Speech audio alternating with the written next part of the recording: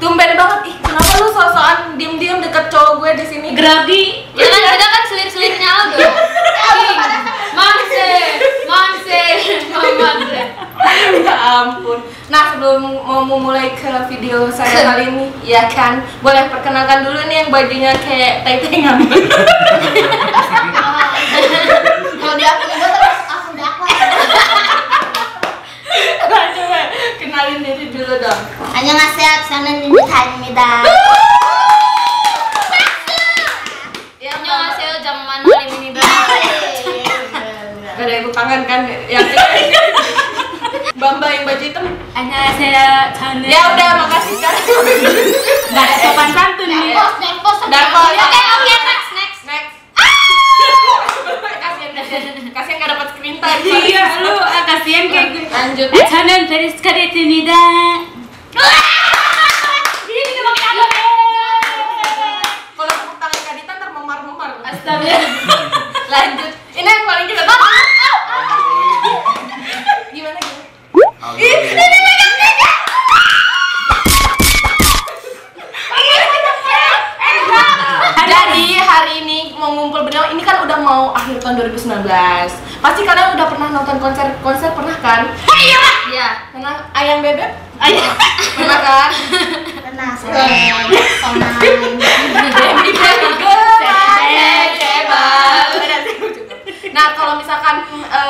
tahun 2019 ini, nih gue hari ini mau nanyain ke kalian best sama worst concert in 2019. Nah ini menurut pendapat masing-masing ya. Tapi sebelumnya kan karena ini kita semua kan suka K-pop. Siapa bilang? Apa bilang? Siapa bilang? Waduh deh. Musuh. Takut gue persepsi sendiri. Nih beneran dong suka dong. Aku selalu ngomong Jalan C, iya C, iya C, iya C, iya Beneran dong nih ya. Nah, kalau aku mau nanya pertama kalian tuh tau K-pop? ya? Eh, maaf. ya beneran dong, serius dong. Kayak aku begini. Ceritain dong pertama kali kenapa kalian bisa terjun dan suka di dunia K-pop dari Mbak Mbak yang sini dulu Mbak gimana Mbak? Eh, jangan- gimana gimana? Bajunya udah ya. Iya ada gak? Padahal Akan akan. Boleh ceritain awal suka K-pop Agak tuh sih ya. gara gara gara siapa terus apa di drama kayak oke bagus bagus. Tentang masa lalu kan gue ingatan gue tuh cuman berapa tahun ke belakang jadi susah. Jadi ya udah berarti nggak usah ditanya langsung ke gini Eh, urutan dong, masa lengkap sih?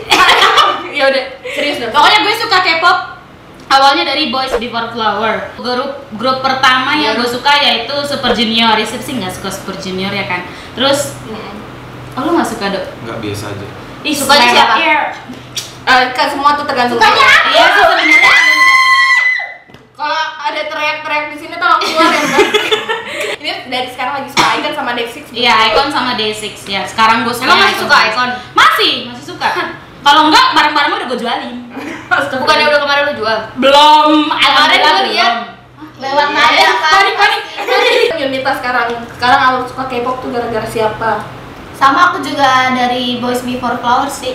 oh my Almost Paradise Jujunto, Abis itu kayak suka grup siapa gitu kan itu kan dari Aku dari Fix. Nih kan itu tahu Fix nih.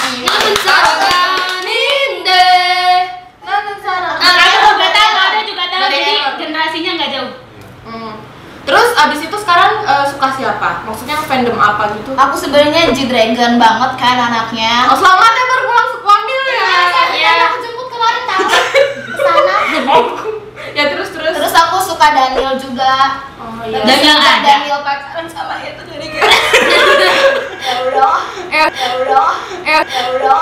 Eh, udah, sabar ya. Namanya jodoh gak ke mana kan sebelum janur kuning melengkung masih ada jalan untuk ditikung. Anjay. Eh, Telur kuning.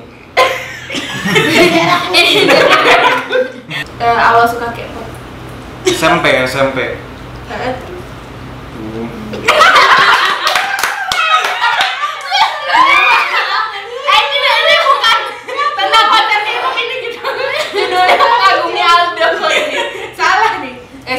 kasihan Aldo dia malu tahu kalian nggak gue kayak iya, gitu ya udah ya ya ada dari SMP ya, suka? SMP suka Suniside Girls Generation. Iya, terus EXO. EXO. Chanyeol ya dulu mirip hmm, macam kan ya kan? Kan aku nggak suka ya. aku ah, aku kan tahu nah. Aku dulu di tahu tahu nggak tahu ya gue tahu dia suka tahu ya. Pusing. Keren kan? Oh, oh. Abis itu ah, kalau sekarang sekarang sekarang ITZY kan? Blackpink sama ITZY. aku tahu Ada deh lu jangan diem aja. Sekarang ITZY sama Blackpink. Kalau kalau nada kan Kita udah tahu kan kita kan dari nada tuh awalnya gara-gara eh, main Facebook. Iya. Udah apel banget. Terus gara-gara dia pengen pacaran kayak sama cowok-cowok ganteng terus nyari-nyari di Google ternyata keluar foto Temin. Habis itu cari-cari dia penasaran suka sama Temin, habis itu lompat ke Minho, habis itu dia suka GOT7, JB, habis itu jadi Agasa, habis itu suka Icon. ya dia udah tahu hidup Terus apa sih namanya? Kan tadi udah suka K-pop dari lama, tapi pas eh, kan tadi udah ditanya di awal suka konser K-pop kan. eh, udah pernah nonton konser K-pop terus konser K-pop yang pertama kali yang kalian nonton di Indonesia? SM Apa? tahun. SM tahun. Bang Musik 2013 Bang. iya musik bang SM tahun 2012. Iya, SM tahun sama. itu pertama kali gue lihat Shiny terus nangis. sama sama iya ada Apa kalau Yunita? Apa kalau Yunita? Aku fix. Fix Tapi pertamanya aku Wook nonton di sini. nonton dia film meeting. Oh, Wook. fix. Emang di dong sih Di fix kokas. Oh, di kok. Lotte bukannya ada ya? Kevin, Bukannya ada ya? Kevin, Bukannya ada ya?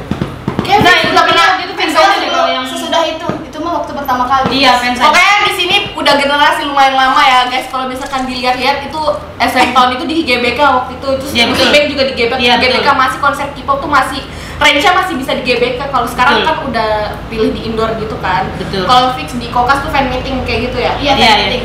Nah, kalau misalnya ini kan udah tahun 2019.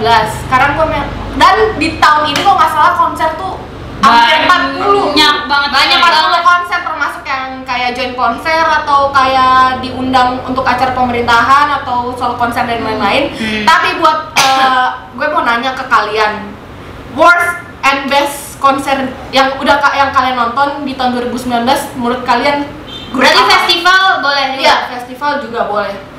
Aku itu yang ada winner apa deh itu? oh on off On off ya, festival. karena itu deket banget. Oh, itu itu best, itu best. Iya. Terus ada lagi, kenapa bisa best atau di notice? Karena dekat banget sama Mino.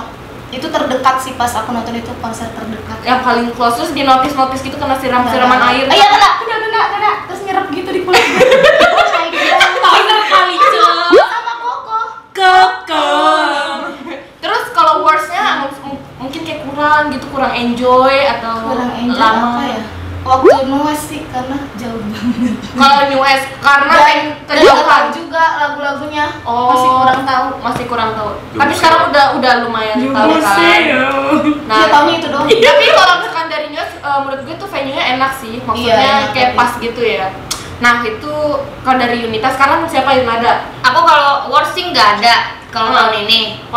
Tapi yang tapi yang best itu pas kemarin Good Fest. Good yang fans Icon. Karena tuh kayak Keren Icon kan emang emang hype banget kan. Mereka kan suka siram-siram kita gitu sampai airnya keminum. Tanaman. Nah, iya, karena aku tuh tumbuhan gitu, karena seperti cinta aku kamu selalu.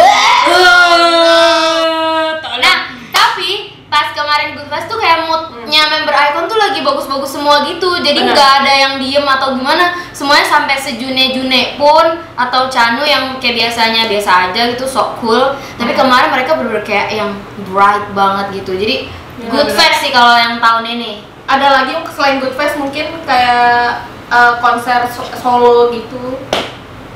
Apa lupa karena saking banyaknya? Lupa sih karena saking banyaknya. oke kalau Kadita mungkin Kayaknya EXO Nine. enggak nggak pernah nonton. girl. Dahsyat lu nonton kan? Enggak lu jangan so tahu. Pokoknya yang worst tuh nggak ada sih menurut gue. Hmm. Karena semua konser pasti gue ada datang. berkesannya Iya ada berkesannya. Tapi yang paling menurut gue yang paling bagus sih kayaknya Inbox. enggak enggak ada. Itu tahun 2000 berapa gue nonton.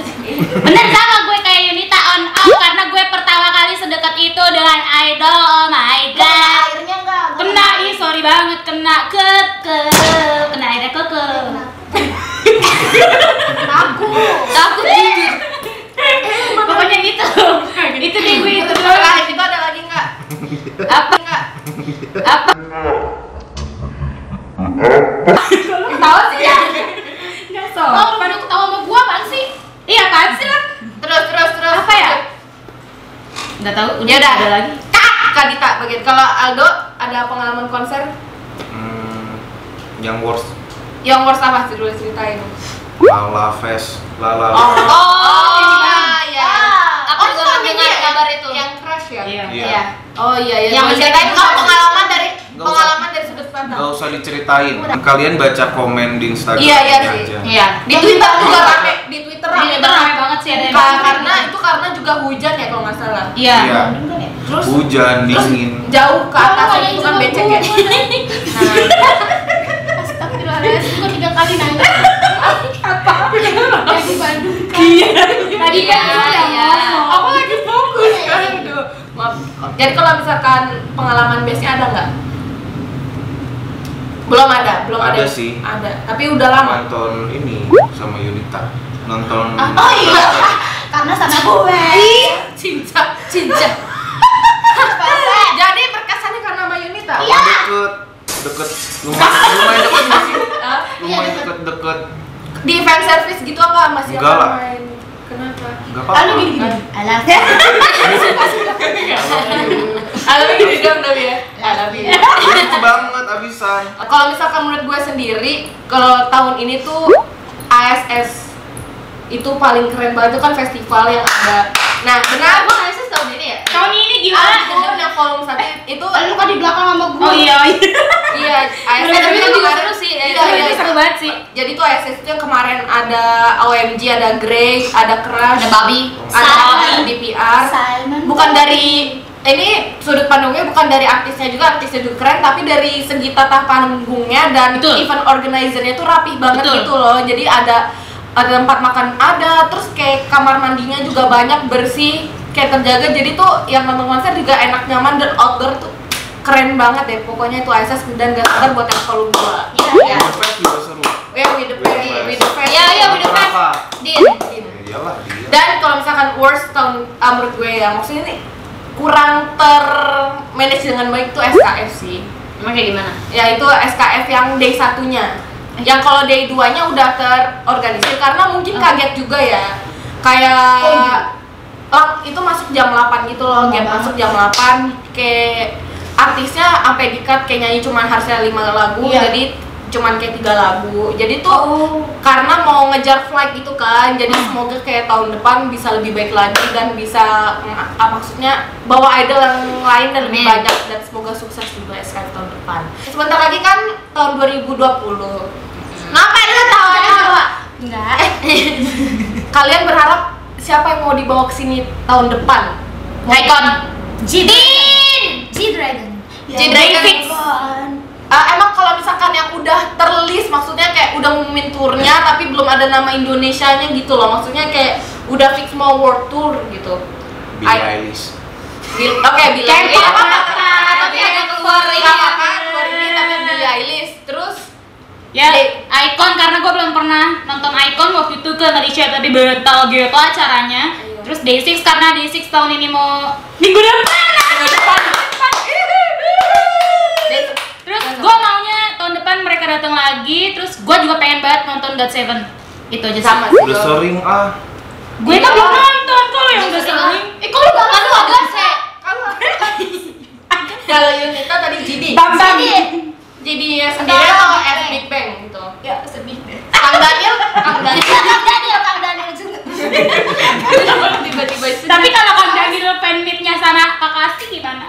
Gak mungkin kan Gak mungkin, gak mungkin sih, berarti mungkin. gak mungkin. Pokoknya Kang Daniel pengen paling Iya, depan. iya, karena kan Kalau misalkan paling depan nih, Kang Daniel lu pengen berteriak apa? Jodohnya tuh gue gitu. Agak, agak lu gak enak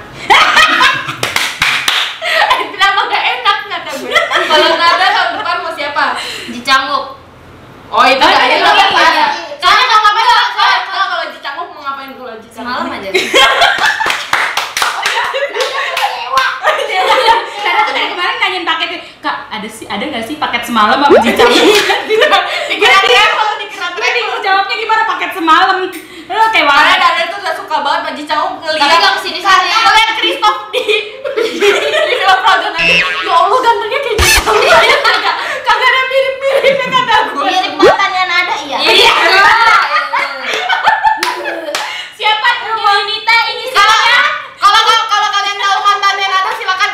bawah. Ini siapa? ini sih oke okay.